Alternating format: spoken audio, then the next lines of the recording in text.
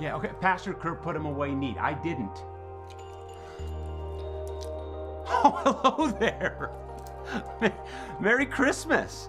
It's it, it's like upon us, right? And and for you special, this great grand weekend, we have the 12 events of Christmas. Number 1. Today we begin a new series, The Promise of Christmas. Your children have been waiting a while, but the saints had been waiting for centuries. That starts now. Next week, we have Gift of Love, and it is not too late for you to participate, to bring in some gifts, to make some Christmases all that much more sweet. And three, if you've been sniffing around and hanging around Woodmen, wanting to find out more, next weekend on Sunday, we've got the Woodmen Welcome. Come, meet your campus staff, hear about our church and ways that you could participate even this very Christmas. A new thing this year is our Night of Carols, happening on December 14th and December 15th. We've got two nights at our Rockrimmon campus in the worship center, an opportunity to sing the songs that mean so much and to focus our attention before the real hustle and bustle begins. Now, if you will not be able to make it to one of those nights, do not worry because we are going to be airing that service on KKTV the afternoon of December 23rd.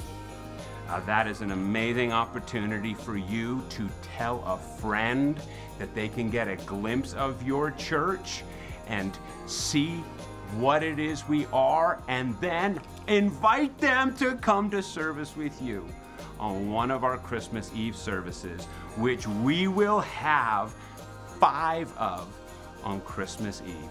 Check your campus listings for when they're happening, but we would love to have you with us. And nine, if you have the bandwidth, if you have some availability, we would love to have you help us pull those services together.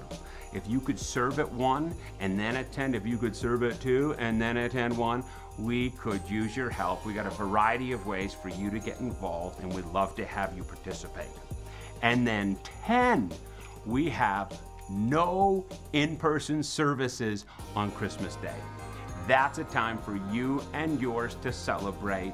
But what we will have is a 30 minute service with singing, some time in God's Word for you and yours to draw your attention to why it is we gather. That service will be available at 8 a.m.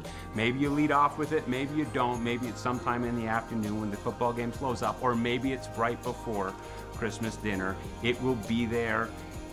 We'd love to have you make use of it. And then 11, 11, Camp for Christmas. Be thinking of the students in your life and the gift you could give them, truly the gift that could keep on giving by giving them opportunity to gather with their friends and to, we pray, be impacted by our Heavenly Father.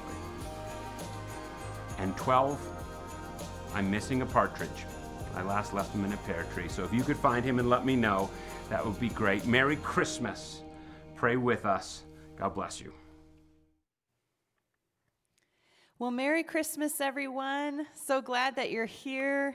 We are about to kick off our brand new Advent season with a new sermon series called The Promise of Christmas.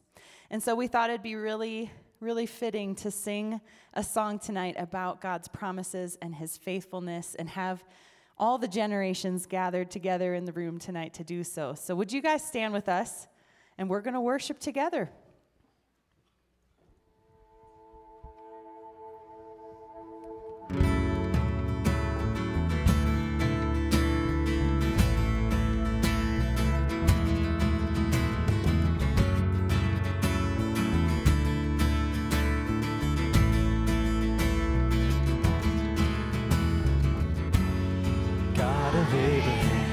the God of covenant, of faithful promises. Time and time again, you have proven you do just what you say. Though the storms may come and the winds may blow.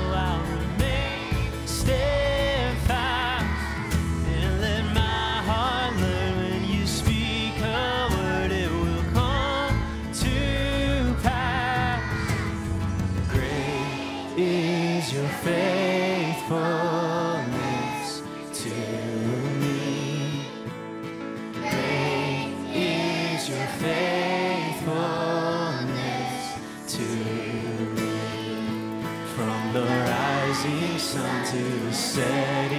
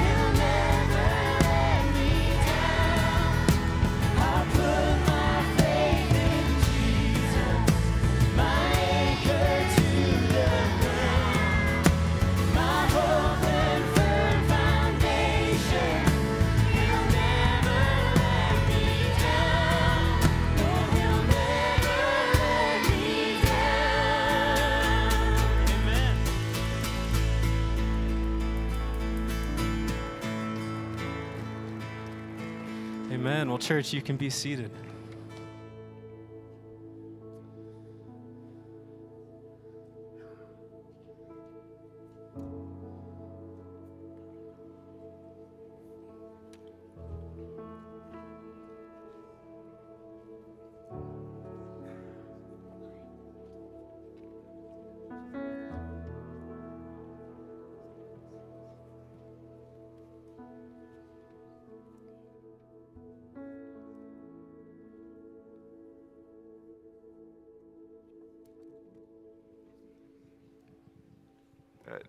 Good evening.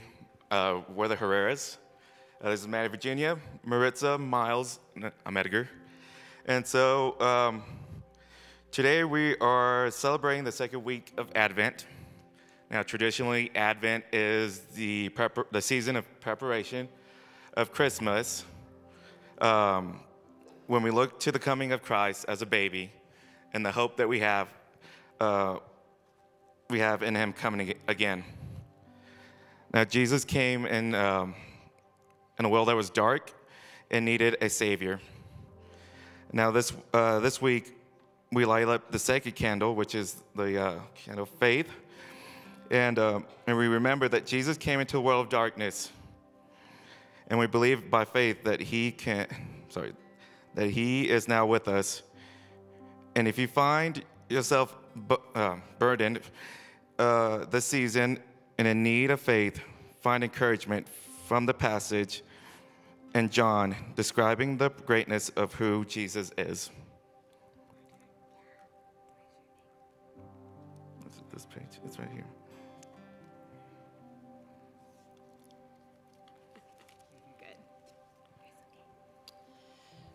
John 1 1 through 5. In the beginning was the Word, and the Word was with God, and the Word was God. He was in the beginning with God. All things were made through him, and without him was not anything made that was made.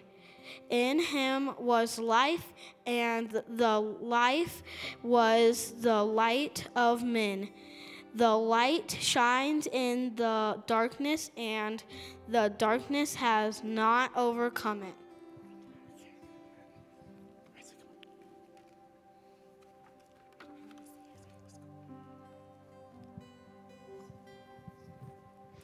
As we light this candle, we remember that Jesus, oh my goodness. so sorry. Just want to make sure we didn't die. Um, that we were in need of faith. Okay, if you guys can stand with us and pray with me. Jesus, we praise you that you are God with us. We pray that you would increase our faith today, bring new people to faith as we share your hope, breathe your spirit on our community, and use to, sh- to shine your light in the darkness. Amen.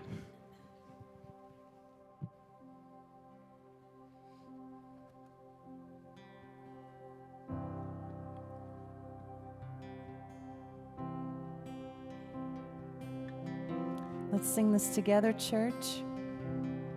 But our expected Jesus, our Savior. Come, thou long expected Jesus, born to set thy people free from our fears and sins. Release us, let us find our rest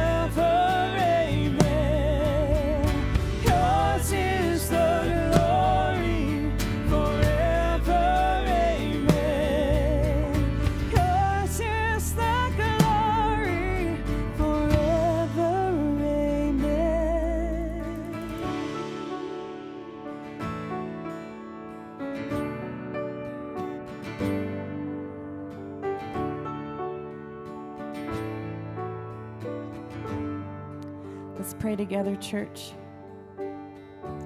Father God in heaven, may we soak in the wonder of the gift that you gave to the world, the light shining in the darkness, the King Almighty, the one who would reign forever, but came humbly to the earth to walk among us, to be with us, and to die for us so that we could be redeemed. We love you. We love you, God. We give you glory and praise and honor. And we ask that this Christmas season that you would fill us fill us with that wonder, fill us with faith in all that you did and in all that you're doing here on the earth and in the promise that you will come one day again. Lord, we, we lift these songs to you as our worship. We give our offerings tonight, our tithes. as our worship, as our trust in you, the giver of all good things, would you use them to shine your light in a dark world today? In Jesus' name we pray. Amen. You guys can take a seat.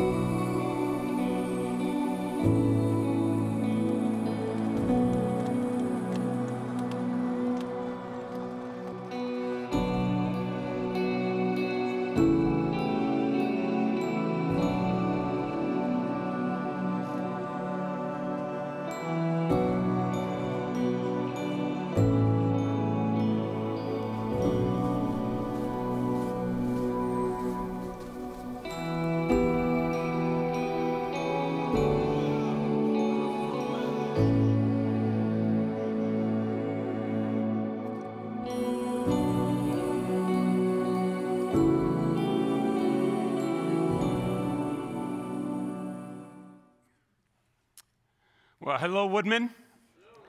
If we have not yet met, my name's Josh, and I am one of the pastors here. Allow me to welcome you once more to this second week of Advent and the beginning of a new series that we've entitled The Promise of Christmas. Are you looking forward to Christmas this year? I think your answer, in, in part, I suspect, would be influenced by the kinds of Christmases you've had in the past. Personally, growing up, Christmas was always sweet and a celebration. Getting married, being a dad, it's always been a fun time in our home. So I anticipate this December 25th is going to be more of the same. Now, obviously, a lot could happen between now and then that could change it. But, but right now, I'm, I, am expecting celebration. Others of you, perhaps, uh, maybe Christmas has been quite the opposite. You know, maybe your family's a gong show and you just you you you know what's going to come up. You know already how it's going to go down. And so consequently, you're not looking forward to it. But I mean, between now and then, a lot could actually happen. You might not think it's so, but things could be different this Christmas morning. I'd like us to try, if we could, to imagine for just a moment how might you answer the question Are you looking forward to Christmas this year? If you had never, ever experienced a Christmas at all. Uh, what questions, what, what thoughts, what would be running through your mind if you'd never experienced a Christmas? If someone just told you, told you about it, there's a tree, there's a story, there's a baby. What would these next weeks look like? Do you think you'd get after it with as much hustle and bustle as you're planning on it? Or might you kind of take a little bit of a slow take? And see how this all plays out.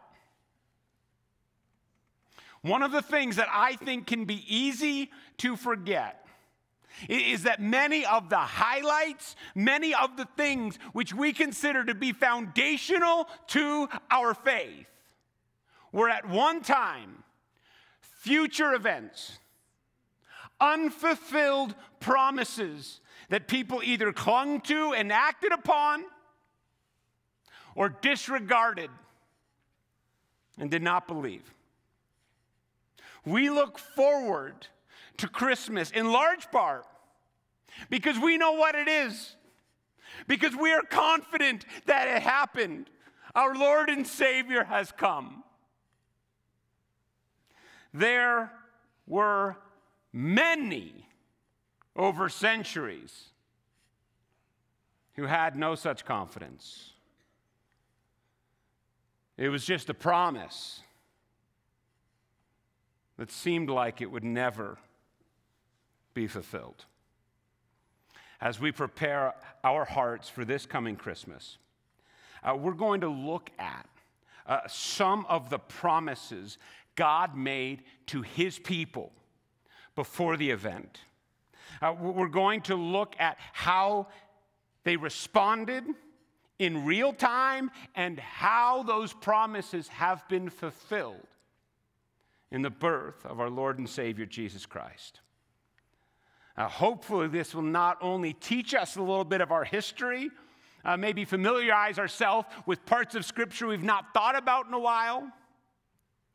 But practically, my prayer is that it will strengthen our faith and our resolve when God seems slow to act upon his promises.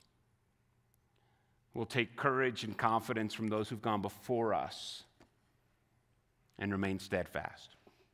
So, with that, if you would, let me pray. Heavenly Father, we thank you for this time of year, and yet we recognize uh, that for some it, it's not the season of joy that we might hope it is for them. Uh, we recognize that as much as we uh, can be looking forward to it, a lot can change. We live in a crazy time. Father, I thank you that you have been the sovereign God of the universe forever and that the promises you make, you fulfill. And so, as we look back, as we go way back, Father, would you teach us from your word? Would you encourage us from it? Would you help me to make no mistakes? Meet with us now, we ask. In Jesus' name, amen. Well, the first promise that we are going to look at was made to a man named Abram. And his story is found in the Old Testament book of Genesis, which is very easy to find. It is the first book in the Bible, if you would like to follow along with us. And it begins with God creating the world, the highlight of which, the highlight of all creation, was the thing he made in his image, Adam and Eve. Unfortunately, Satan interfered. Satan tempted Adam and Eve.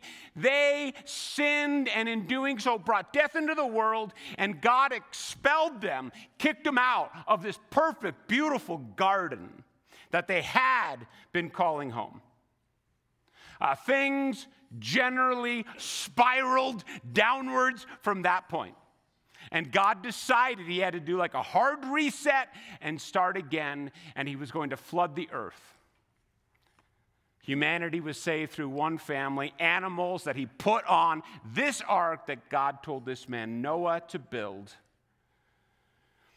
Post flood, humanity began to repopulate, and you'd like to think had figured some stuff out. But sadly, they continue to shoot themselves in their collective feet, and this is where the background this is the background to Abram's story, where it really begins. If you want, turn to Genesis chapter 11. And it starts with a tower. Uh, we read in verse 1 of chapter 11 Now the whole earth had one language and the same words. And as people migrated from the east, they found a plain in the land of Shinar and settled there. And they said to one another, Come, let us make bricks and burn them thoroughly. And they had brick for stone and bitumen for mortar. And they said, Come, let us build ourselves a city and a tower with its top in the heavens. And let us make a name for ourselves, lest we be dispersed over the face of the whole earth. Now, if you're new to church stuff or, or the Bible, easy to overlook what, what's happening here. But this is the biblical equivalent to like a fifth grader announcing they're going to move out of the home. And if you grew up with this stuff, there is a chance that the Tower of Babel is, is like known more for flannel graph fame, depending on your age, than it is for anything hyper practical to what we're going through today. Uh, they wanted independence, and they believed it was in their power to grab it. It says that they, they, they say they're going to build a city ourselves, like the kid. Me do it. We're going to build a tower that's going to go to the heavens. And everyone that sees it, it's just going to be a reminder of how brilliant we are because we built such an awesome tower. And they want glory. They actually say, we are going to make a name for ourselves. People will regard us for this awesomeness that we have done, and they want power. They actually say they don't want to be thinned out. They don't want to separate. They don't want to be dispersed. They want to centralize and grow stronger. Now, the problem with this, though, is that those three things run totally counter to what God had called humanity to do. Rather than be independent contractors on our own, God created us to be in relationship with Him, and they are shunning that. Uh, God called us not to receive glory ourselves, but to give glory to Him. We were created to bring Him glory, and they are not about that.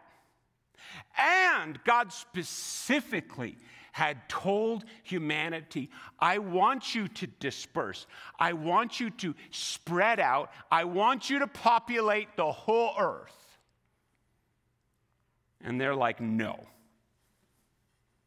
So God is, is rightly a little frustrated. Take some action. Verse 5. And the Lord came down to see the city and the tower which the children of man had built. And the Lord said, Behold, they are one people, and they, they have all one language, and this is only the beginning of what they will do. Nothing that they propose to do from now on will be impossible for them. Come, let us go down there and confuse their language so that they may not understand one another's speech. So the Lord dispersed them from there over the face of all the earth, and they left off building the city. Therefore, its name was called Babel, because there the Lord confused the language of all the earth, and from there the Lord dispersed them over the face of all the earth. Now, first off, anytime the Lord uses like a redeemed sarcasm, I think we should point it out. No, notice how they're like, we're going to build a tower up into the heavens. And God's like, oh, is that right? We should go down and check that out. Your, your tower to the heavens is like flights below where we're at. I just think it's always important to appreciate reverent sarcasm. Anyways, the real significance of the passage I mean, it's only nine verses long, it's easy to overlook. But it highlights again humanity's inability to get out of its own way when left to its own devices as if bringing sin into the world and death was not enough, as if flooding the earth and destroying it was not enough. Here again, they're like, we will do this our way, and we don't need him. They want to live independent of God. They, they want to live for their own glory and in opposition to his commands. And God is like, it's not going to happen. So he brings in different languages. Uh, they can no longer communicate. They are, they, they are at odds. And so they disperse. Now, now put that just in some recess of your mind. Store that for a second. Now we're about to be introduced to the guy who's going to be our leading character. Now, if you were to continue on, the author gives a list of descendants from Shem, who's one of Noah's descendants, and cranks all the way down to a guy named Terah, which all I can think of is that cartoon gal, She-Ra, when I say it. Anyone else? She-Ra, remember her? Kind of He Man's girlfriend, but not. They weren't in a relationship or not committed. Anyways, I digress. Just trying to lighten you up a bit. Okay, so Terah, who had three sons of his own, one of which is, uh, is our man. Genesis 11, verse 27. It says this Now these are the generations of Terah. Terah. Terah fathered Abram, Nahor, and Haran. And Haran fathered Lot. Now Haran died in the presence of his father Terah in the land of his kindred in Ur of the Chaldeans. And Abram and Nahor took wives. The name of Abram's wife was Sarai, and the name of Nahor's wife Milcah. Milcah, and the daughter of Haran, the father of Milcah, and Iscah. Now Sarai was barren; she had no child. Terah took Abram his son, and Lot the son of Haran his grandson, and Sarai his daughter-in-law, his son Abram's wife. And they went forth together from Ur the Chaldeans to go into the land of Canaan. But when they came to Haran, they settled there. The days of Terah were 205 years, and Terah died in Haran. Now, again, if uh, this is not like judgy, it's just my own self. So if you're doing your quiet time or when I'm doing my quiet time, reading on your own, these are the kind of sections that I think are easier to read faster. Can I get an amen? Anyone agree? Leave me up here. Like, it's just, it seems like he went there, she did that, and, and it's just like, okay. But it's actually insightful and begins to give us a sense of this man that God is about to call. First off, you could tell Abram, he knew some loss. His brother had died prematurely. It says that his brother died in the presence of his father. For any of you who've lost a child, if you've lost a, a sibling, you, you know that's not something that you ever really get over. It sticks with you. Abram, he's been there. And, and, and then in his own married life, they didn't have any kids. Sarah, Sarah his wife, was, was barren. And, and, and they're, they're older folk now. And so this was no longer the, well, let's wait and see, maybe by next Christmas kind of thing. Uh, this, this dream had passed them by. And we, we want to be kind about the way we say it, but, but Abram's a pagan. Right? There's no mention of, of any sort of God experience, and, and we don't want to just judge by a name because some of us name children weird things, but Sarai was, was the name of the moon god's consort. And, and, and Abram's sister in law was named after the moon god's daughter. And Sarai was, and again, this is back when genealogy, when, when, when humanity was a little more pure, Sarai was, was Abram's half sister. They had the same dad, but different moms. So you're not getting a particularly orthodox faith experience for Abram growing up. And this dude, he had literally put some miles on in his life. He was born in Ur of the Chaldeans, which is southeast of, of modern day Baghdad in Iraq. And one day, Terah announces, We're going to move to the land of Canaan. And so they begin this journey and make it some 700 miles to modern day, the, the south end of Turkey. And it's weird because it says Haran. You're like, well, that's kind of awkward that they like, lose a son and then end up moving to a place named after him. In Hebrew, it's spelled different. It's not the same in Hebrew, but, but in English, it looks like it's the same, but, but it's not. So you have a guy who at this point is in his mid 70s, no kids, married to a gal named after the moon god's consort, some 600 miles from Jerusalem. And, and it's this guy, Abram, that God is going to choose to be the father of the Jewish people and the ancestor of Jesus Christ. And there's two kind of takeaways that I'd like to suggest we keep in mind. One is personal and one is corporate. And corporately, we need to remember that God, God calls people that we don't necessarily expect. If you look at Abram's resume, there's really nothing there that would suggest he's a prime candidate for the job. And we need to keep this in mind because it is so easy for us to look at the world, to see the arrogance, to see the self centeredness, to see this all about themselves mentality, to see them worshiping gods that are not our own, uh, to see them far from what we hold to be true. And yet, by this Christmas morning, God could have called some of them to saving faith in Jesus. God is still at his work. God is still redeeming people that we think he never would. You don't have to raise your hand, but have you forgotten that? Uh, do you look at people and sort of do like a, a, a judgment sort of call on them? They're close, they're not. If I were to put them in an order, sort of like a salvation kind of draft thing, as if we had any control over it.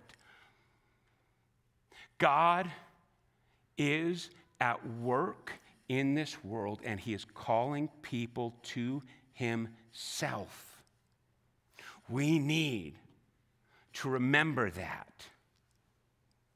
And then, personally, for at least some of you, I would imagine, you could very well be like those who are building a Tower of Babel. You're looking to make a name for yourself. Uh, you have very little regard for, for God. Perhaps, like Abram, grew up in a family that felt the same. Yeah, sure, things haven't gone perfect. Probably encountered some heartache and trial along the way. But you're sitting here listening to me, and if I put you on the spot, you would perhaps say, But, but, but I'm, I'm good. I'm good. And you don't know it yet. But God is about to break into your life and, and call you to something radically different. And some of you, I believe, are going to respond to Him in faith and be radically different by this coming Christmas. Uh, this, this is what God does for Abram. This is God's call upon him. Verse 1 says this now, now the Lord said to Abram, Go from your country and your kindred and your father's house to the land that I will show you. Now, if you are familiar with the story of Abram who becomes Abraham, this is sort of common knowledge, right? But if you could try, as hard as it may be, to erase all that you already know and consider this for a moment from Abram's perspective. This dude is 75 years old. He does not have some coworker that was always talking about church on Monday morning. He and Sarai had not been like watching The Chosen as a little date night and just kind of exploring what's going on with faith. They have no concept at all of the God of Israel because Israel doesn't even exist. And one day, the Lord pops into Abram's life and says, Go from your country and your kindred and your father's house to the land that I will show you. That is the first recorded words we have, and most likely the first words God ever spoke to Abram. Ever. And we really, in our culture, day and age, cannot appreciate the gravity of this ask. To leave your family, to, to leave your country, to leave your family, to leave your father's house was to leave any bit of socioeconomic security that you had. And especially difficult, I'd imagine, giving the lack of specificity in the call go, I'll show you. Imagine a spouse saying that to another. We're moving to another state. Okay, which one?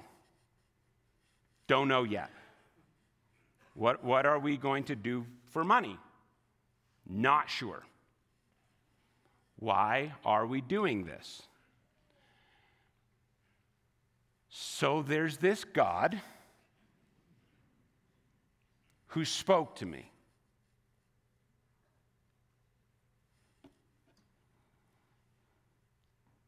Which God? I'm not entirely sure. Have you talked to him before? Actually, no. What are we going to do? We're going to go. It really is that crazy.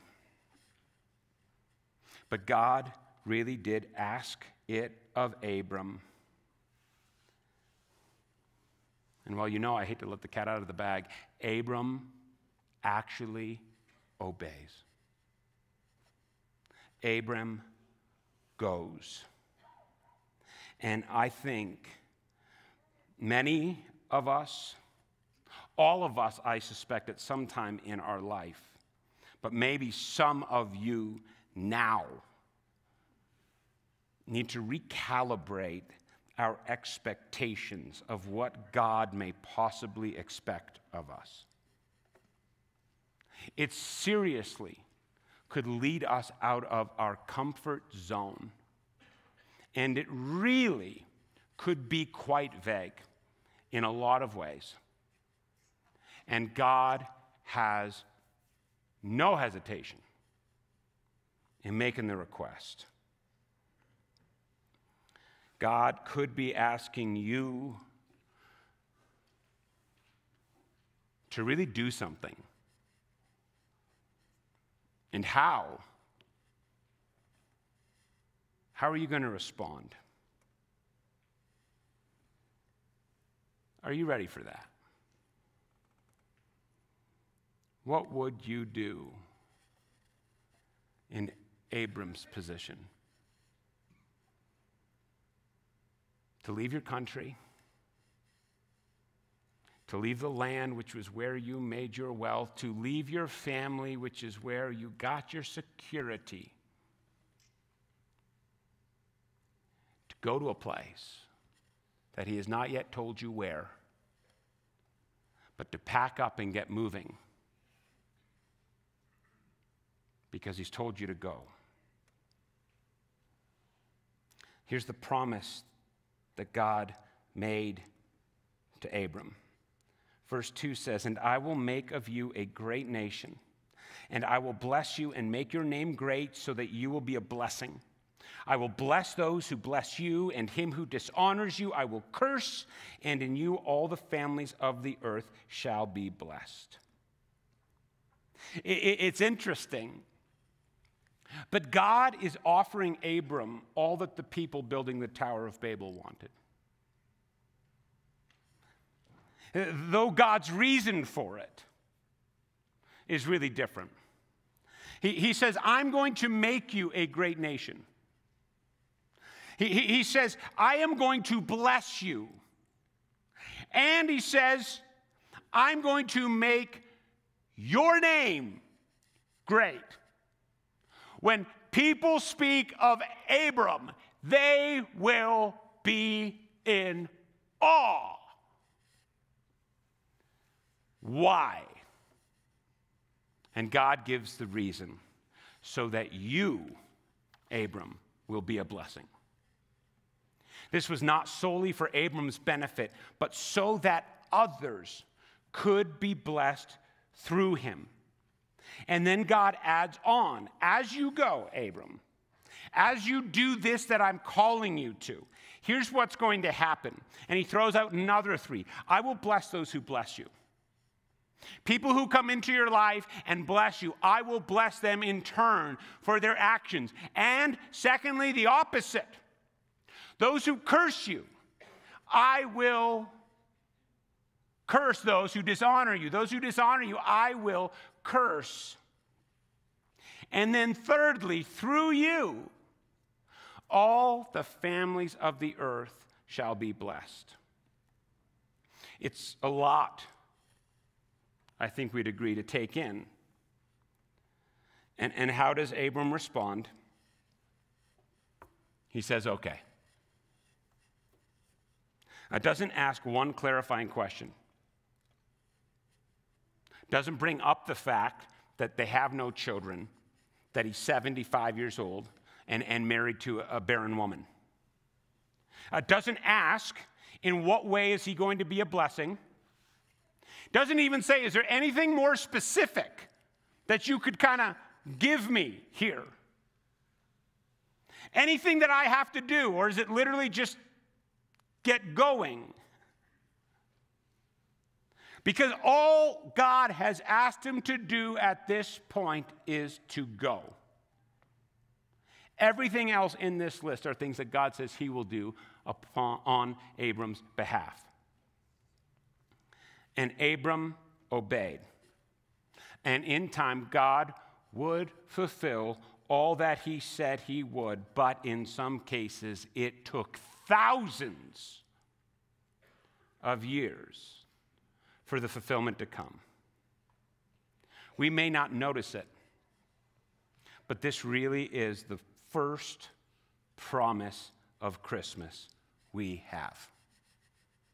In what way are all the families of the earth blessed through Abram, who would become Abraham? It will be through his direct descendant, the Son of God, Jesus Christ, born in Bethlehem, who would die be buried, and rise again for the forgiveness of our sins, that we could be reconciled to God who made us. If you know Jesus Christ by faith this day, you are one of the fulfillments of the promise God made to this man thousands of years ago. And there are two things here as well that I would want us to think about. First is that even today, even today, with this entire book and all the knowledge that we have, even today, the call of God often focuses on outcomes and doesn't offer the specifics we may desire or want to hear.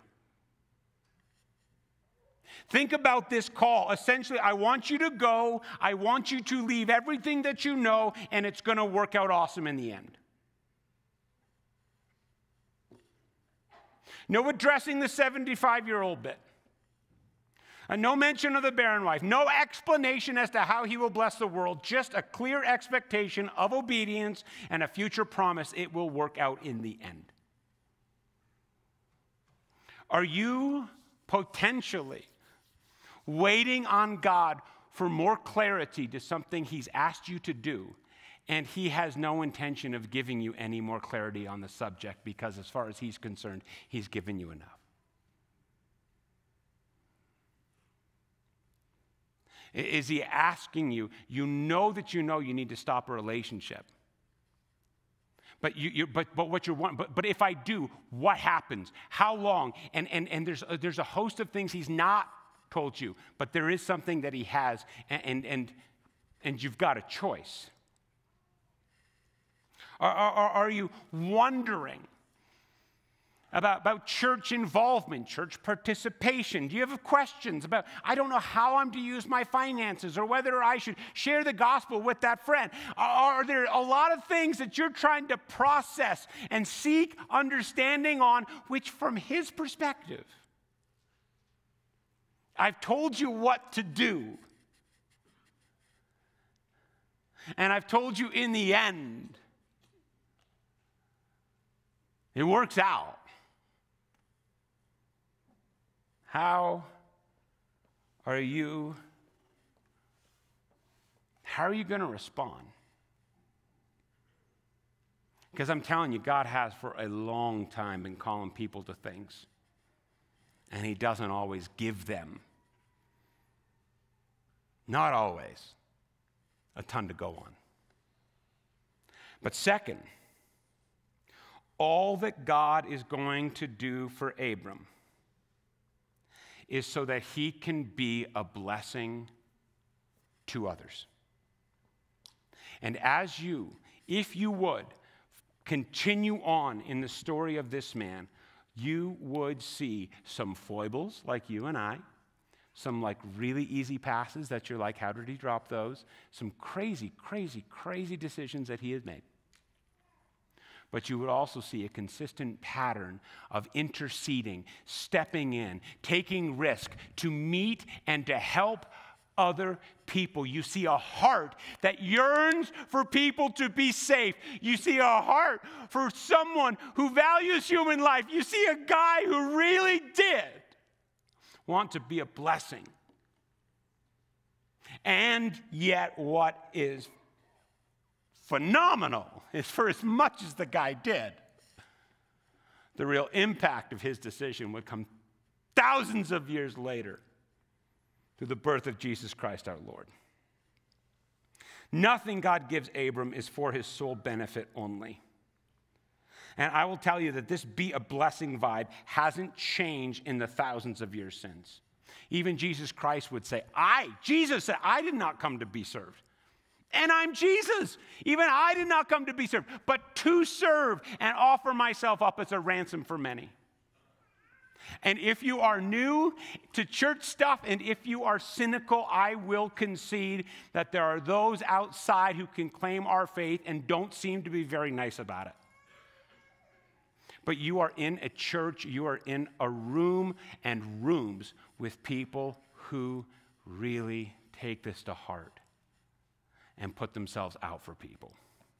We might not get to bless all the families of the world, but next weekend we're going to bless a few. Gift of love, I want to just thank you as, as one of the pastors here to see the generosity of this church. It does so much for my heart. Because we can say things from the front but it's your participation that gives veracity to the things that are said. And if you're like me and haven't participated yet in Gift of Love this year,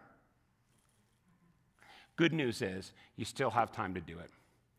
And we actually could use, we need gifts for like kids 8 to 18. And that, oh, I don't know, it's, it's that awkward teen thing. Find a teen, ask them, what do you want? Don't get it for them and get it for someone else. Just, just find out what that thing would be.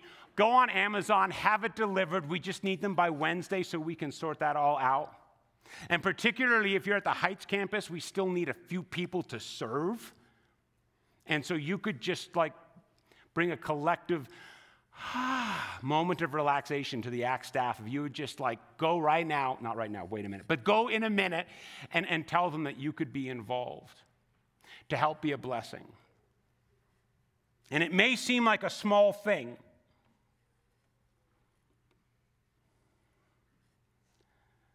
But God's people have always been called to be a blessing to others in small and big ways. Has God perhaps blessed you specifically for that purpose? That you could bless someone else. It's our decision. Abram in time will become Abraham, and he will become Abraham, the physical father of the Jewish people. But the Apostle Paul sees something much more significant at work in Galatians chapter 3. Just listen to this. Verse 7 Know then that is those of faith who are the sons of Abraham. And the scripture, foreseeing that God would justify the Gentiles by faith, preached the gospel beforehand to Abraham, saying, In you shall all the nations be blessed. So then, those who are of faith are blessed along with Abraham, the man of faith. When you and I, or should you, confess Christ as Lord, believing that God raised him from the dead and inviting him to forgive you your sins, you and I become the spiritual descendants of the man that we have looked at today. Imagine an, an exhausted Abraham and Sarah, their young son Isaac running around, still just the three of them. And Sarah may be asking, like, I don't know, they're having tea and like scones or something. Honey, what did he say again?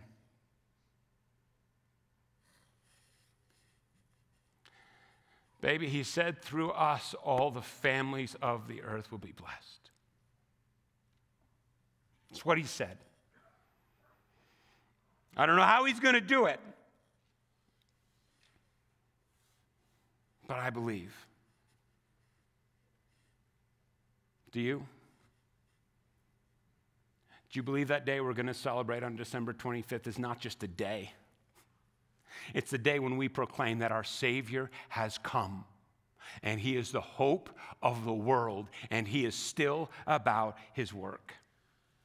What might Abram and Sarai say to you today if they could get you for five minutes? Would they look you in the eye and say, Son, I will tell you he's not quick, but he's faithful? Would he tell you, Daughter, trust him? He will not let you down. Would it be an invitation for you to become a part of His spiritual family? If you have been waiting on God for something, it may be this Christmas He gets it done. It may not be. The question always is not what is He going to do, but are you and I going to be faithful until He does whatever it is He has planned? Abram was. I hope that trait has made it down to us. Amen. Let us pray. Heavenly Father, I thank you for just this great demonstration of obedience, of trust against all odds. And I ask that you would give us more of the same. Father, perhaps for someone here, it's to take that step of, for the first time, putting, putting all their eggs, uh, putting, putting all the chips on that Jesus square and confessing him as Lord and inviting him to forgive them of their sins. Uh, maybe for us, we've been waiting, we've been longing, we've been wondering what you're up to. And we need to remember that the God we read of in your word is the God that we worship here today. You are the same God yesterday, today, and forever. May that ring true in our hearts and be displayed through our lives. In Jesus' precious name, amen.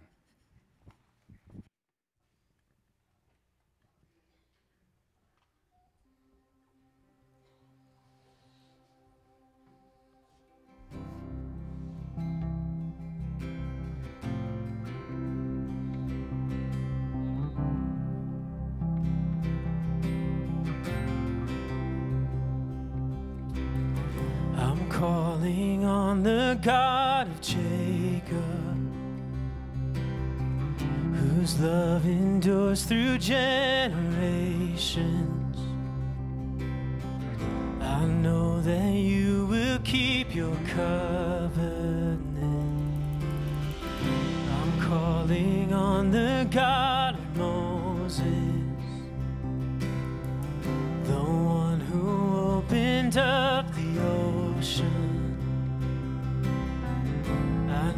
you now to do the same thing for me.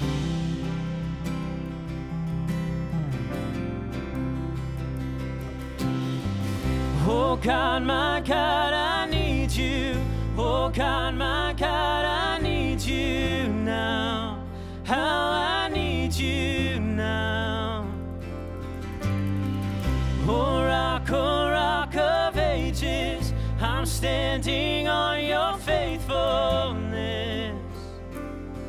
on your faithfulness.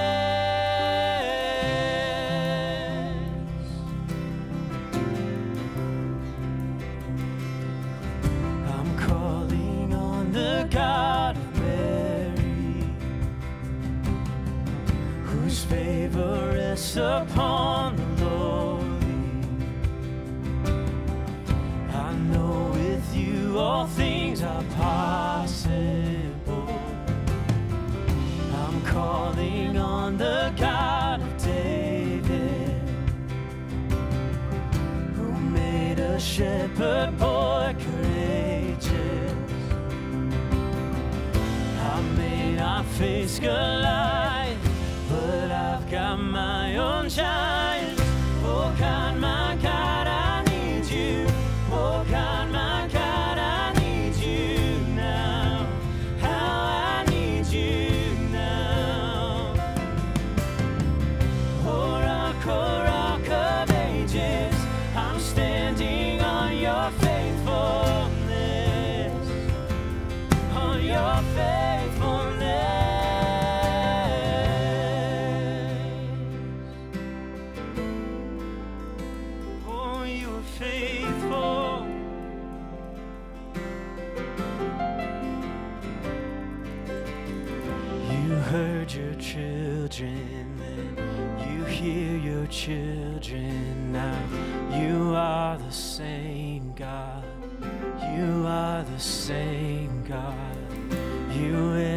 press back.